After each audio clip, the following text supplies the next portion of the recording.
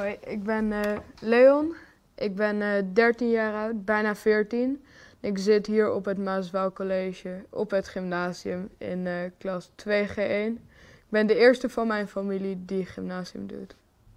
Eh, ja, ik zat eerst in een eh, HAVO-VWO brugklas. Maar ik had het daar heel goed gedaan en toen eh, kon ik naar het VWO. En toen had ik de keuze om te kiezen tussen het gymnasium en eh Atheneum.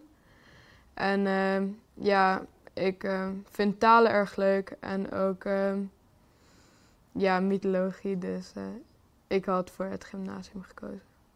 Als je naar het eh, gymnasium gaat, dan zie je in de wereld van nu ook veel eh, dingen van de Griekse en Romeinse oudheid terug.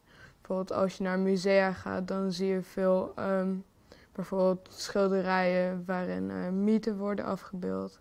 Eh, het gymnasium past bij mij, omdat ik eh, erg ervan hou om nieuwe talen te leren. Ehm, en omdat ik erg van verhalen hou. En ehm, dat combineer je zeg maar samen in het gymnasium, waarbij je teksten van mythen vertaalt ehm, van het Grieks of Latijn in, naar het Nederlands.